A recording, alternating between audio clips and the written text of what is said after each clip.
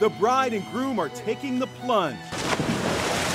Literally, to snap some really cool wedding photos underwater. Photographer Adam Opris uses a special waterproof camera to get these amazing shots.